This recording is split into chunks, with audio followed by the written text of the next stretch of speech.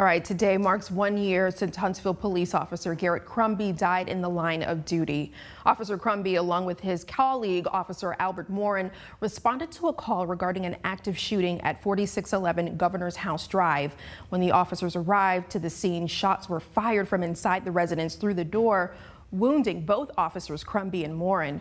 Morin has since recovered from his injuries and has returned to duty, but Crumby did not survive.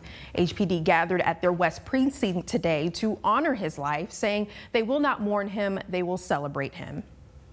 He was always a cheery guy. He was a happy guy. He was a uplifting guy. He wanted a smile on your face, and that's what he would want on our face.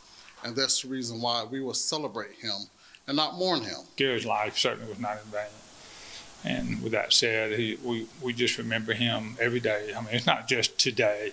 We think about him every day. Fallen Officer Crumby's family has gifted Huntsville police officers with a challenge coin that they can carry with them every day. We'll have more on this story tonight at 9.